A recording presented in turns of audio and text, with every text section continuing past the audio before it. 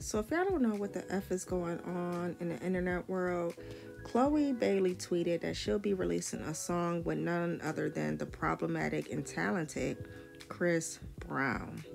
The song will be released on February 24th, and Twitter was not here for it.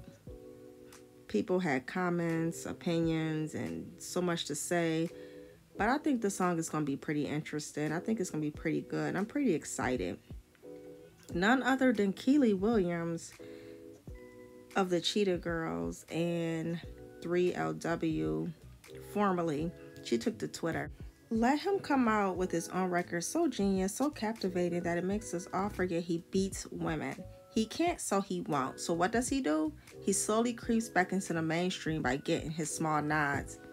Chris Brown was not here for that tweet at all. So he got on his platform, of course, and as well as Kiely's Twitter.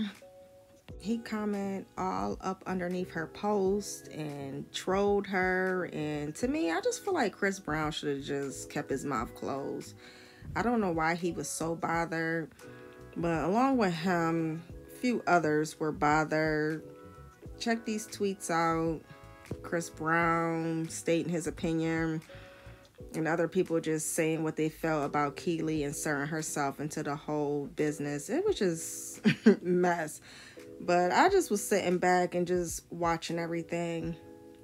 So let me know what y'all think. Comment down below. Thanks so much for watching.